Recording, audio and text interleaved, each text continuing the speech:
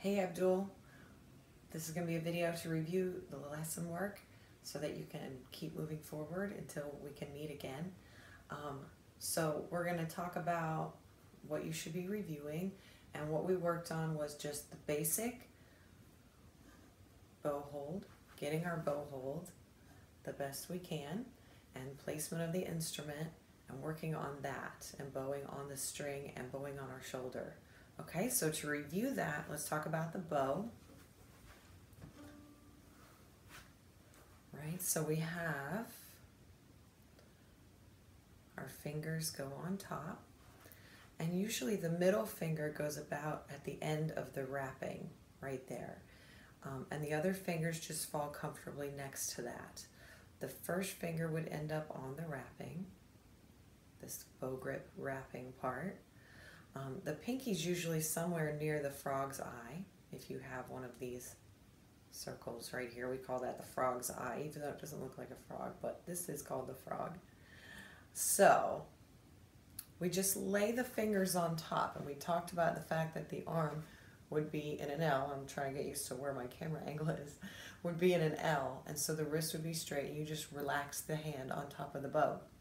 So we don't want our wrist like this or like this, okay? So you relax the hand on top of the bow, and then we would try to bend the pinky and put it on its tippy tip, okay? And then we help turn the bow up. I still don't have my thumb, and I'm gonna add my thumb on the inside. And it goes underneath the middle finger, okay? It does not go in here, this little cubby thing right here. It seems like a spot for your thumb, but it's not. So it's gonna go here, okay? So we've got those fingers on top. We add the pinky, and then we add the thumb, okay? And we should be able to see relaxed fingers, flat knuckles. So if they're like this, we gotta relax down those knuckles so that that pinky has a curve in it. It looks nice and round right here. And underneath, there's a curve and a bump in the thumb. So you end up with sort of a circle in the hand. So if it looks like this, it's too tight and the thumb needs to open up. Okay? There we go. So it's nice and easy. These two fingers are further over the bow. This one is not as far over the bow because he's just a shorter finger. And the pinky's on his tippy tip, okay? And if our fingers start to get a little cramped or we end up like this, then we shake it out and we start that process again, right? We put our fingers flat, put the pinky, turn up the bow, add the thumb gently, and then try to hold it straight up like a rocket because that's the easiest way to hold it, right? So then to bow on our shoulder, we would just put it on the shoulder and we can do the rhythms on the shoulder. Okay, so we'll talk about the rhythms in a second. Let's talk about the violin. Okay, so here's our bow. It's looking good. Now we're going to get the violin.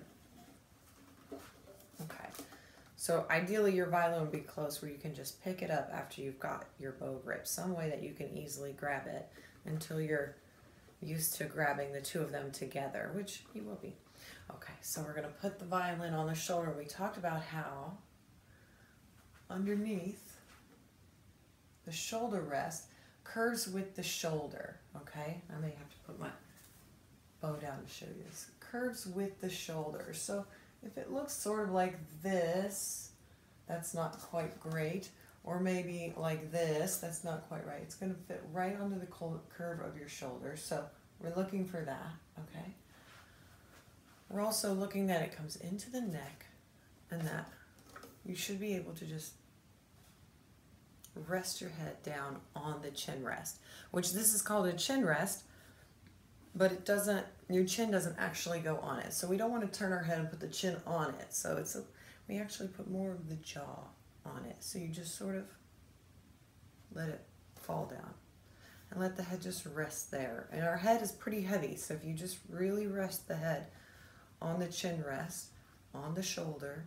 It'll really just hold that violin for you, okay? But don't get too brave letting go just yet, okay? We're still getting used to this and we don't want it to fall. kind of just you can try it, but keep your hands close, okay? And for you, we're doing our safety lock, right? So our safety lock is our hands this way with the thumb on the back, okay? And that's the easiest way for you to hold it, to bring it up and bring it into your shoulder. Okay? And do the best you can. And remember that the violin does not go at a 90 degree angle. So we don't want the violin to go straight out this way. It kind of seems like it does, but it, it actually doesn't. We want it to go a little bit more this way. And it's hard to show angles on the camera right now, so hopefully I can figure that out at some point. But it's going to go more over our toes, right? So our toes are comfortable hip width apart. And when you put that violin up, you're going to have your, your hand in line with your nose over top of your elbow, which should be over top of your left foot. So all of it lines up with our left foot. Okay, so the scroll to the elbow to the left foot, that should be a nice straight line down to our toes of our feet. Okay? And we're holding it that way. So it's a little bit forward. I'm having a hard time showing this angle really well on here. Oh, we gotta figure out camera angles. Okay, so we've got our bow grip. Okay, and we're working on the violin placement. And you can easily just work on going from rest position back to play position and just try that and go back to rest position which is under the arm and back to play and just practice getting it on your shoulder a few times right we're going to practice getting our bow grip a few times shaking it out get the bow grip okay and then when we're ready, we're going to add the rhythms. Okay, so we can bow the rhythms on our shoulder or we can bow the rhythms on the instrument. And so if we're having any trouble bowing the rhythms on our shoulder, then we shouldn't try it on the instrument because it will be much harder. So we're going to bow first on our shoulder the rhythms, and when that feels good, then we'll try it on the strings. And right now we're only working on the A and the E string. So let's start with the rhythms and then we'll add the bowing to the shoulder. Okay, so I'm going to talk about the rhythms, show them to you, which is a little bit tricky on camera, so hopefully I'll learn from this. But um, we're going to talk about the rhythms, I'll show them to you, and then I'm going to make a separate video with the me playing the actual rhythms that you can bow along with, whether you do it on your shoulder or whether you do it on the open string, okay? So I'm going to put this down. Okay, so just to go to this book so that you understood, because you asked me you weren't sure about the rhythms, so I'm going to explain the rhythms to you a little bit. Okay, wait. So we're doing the twinkles, the basic, basic first song, which is a great first song. It's such an amazing, this is amazing set of twinkles, even though they're twinkles. There is a lot of playing. If you can really play through all these twinkles at full speed, you're really doing a lot more than just playing Twinkle. So it all starts with the theme song. Okay, so the theme song is the basic Twinkle, Twinkle, Little Star. So that's the first song that everybody knows that song. We know how to sing it. Um, sing it along, it helps. Okay, and so this is the first one that we can bow along with, and it's nice and easy to bow along with. Okay. Um, and then we take from that song, so it there's two three parts to it. There's A, B, A. Okay? A, B. And so we take those and the notes for that, we have A, E, F sharp, E to begin with. Okay? The beginning of the section A. All right? We take these same notes and we just change the rhythm. So the rhythm that we have here is ta, ta, ta, ta, ta, ta, to be. Okay? So it's quarter notes. One, two, three, four. One, two, three, four. Okay, that's the basic.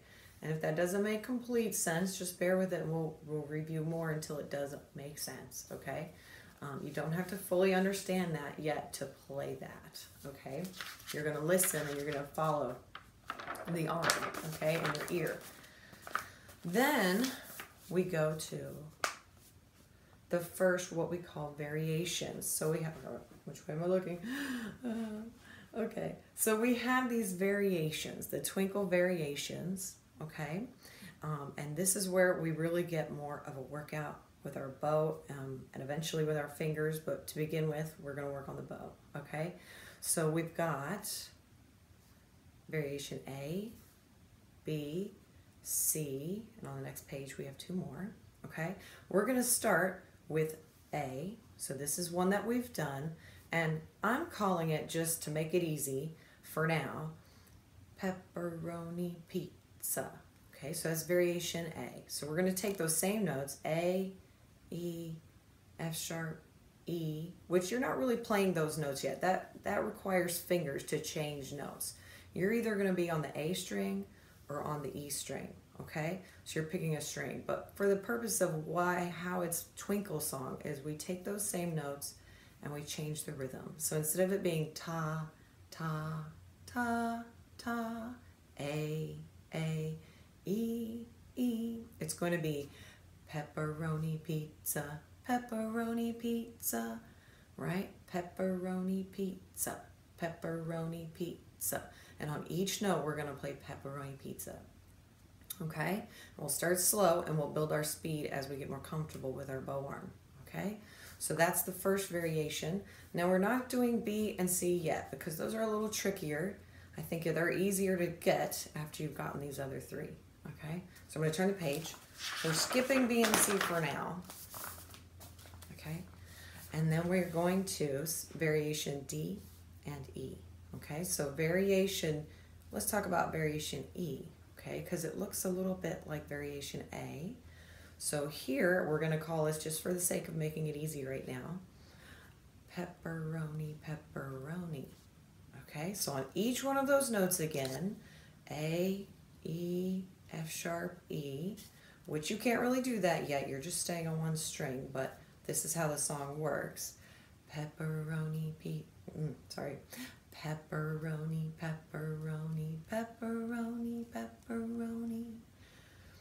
Okay, one E and a, two E and a, three E and a, four E and a. Pepperoni, pepperoni, pepperoni, pepperoni. So we're going to play through that. You would stay on one string. I'll do that in another video. You can play along. Okay, so that's variation E pepperoni, pepperoni, okay? Now for variation D, it's different. We have strawberry, strawberry. So again, on the different notes, you'd hear strawberry, strawberry, strawberry, strawberry, strawberry, strawberry. One, two, three, four, five, six. Or these are more known as triple it, triple it, triple T, triple T, triple T, triple T. They're triplets. They're called triplets because there's three in a grouping. So, and kids like to, and it's easy to sort of remember, strawberry, strawberry is a three syllable word. Okay, same thing with pepperoni is four syllable because it's a four grouping. Okay, so those are the variations you're working on. You're working on the theme song. You're working on E, pepperoni, pepperoni. You're working on A, strawberry, strawberry. Ah, that's D, not A. Variation D is strawberry, strawberry. And, boy, I'm really not used to this camera thing right now. You're working on A for pepperoni pizza. Okay? So, and we'll get to all the complicated terms of what these rhythms are really called, but right now you just want to figure out how to move your bow. So let's move the bow. Okay?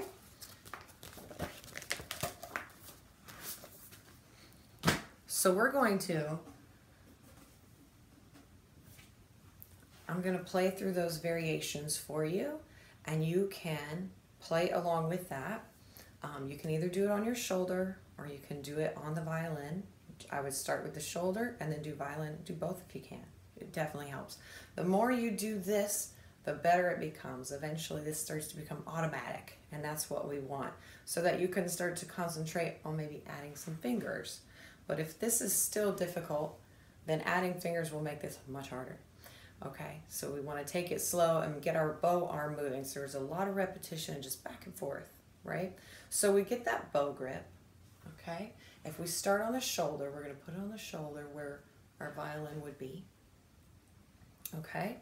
And you're just going to keep it pretty straight. And I'll bow in different ways. I'll just do an example, and then in a separate video, I'll play through for you. I won't talk much. You can just play through, and you can replay it as much as you want. Okay? So, if I were to say, okay, we're going to do the theme song, you would hear an introduction. Bum. Wait, let me get a pitch.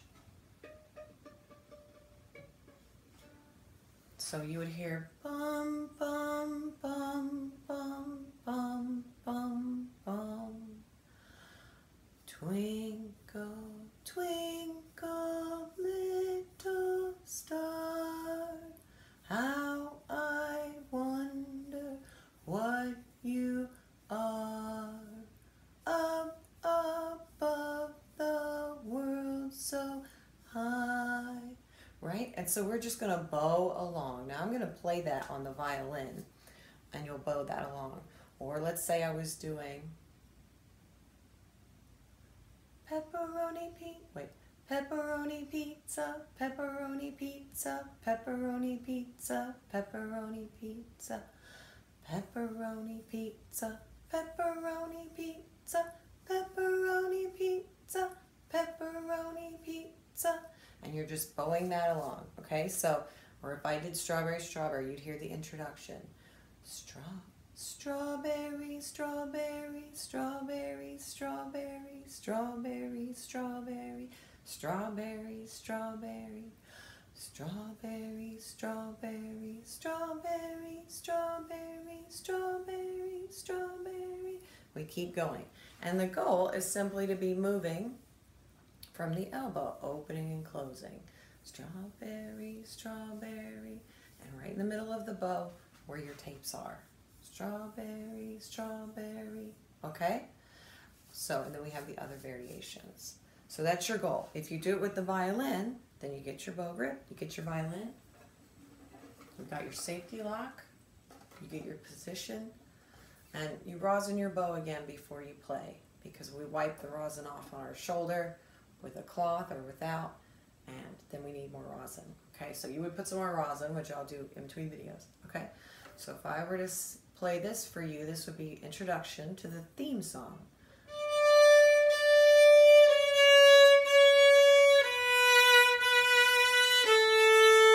Now you would play on only the A string. I'll sing it, just, I'll try to sing it and see if you can do it. Twinkle,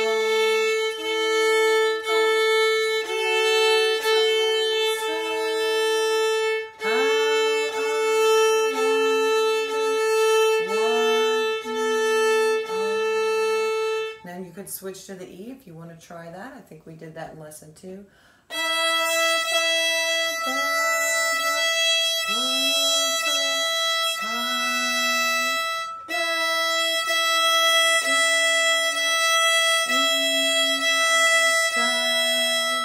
And our goal is to try to keep the bow next to the bridge.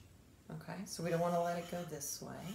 We're trying to stay parallel to the bridge as much as we can and to use open and close the elbow. Okay, so, or if we're doing, let's say, pepperoni pizza.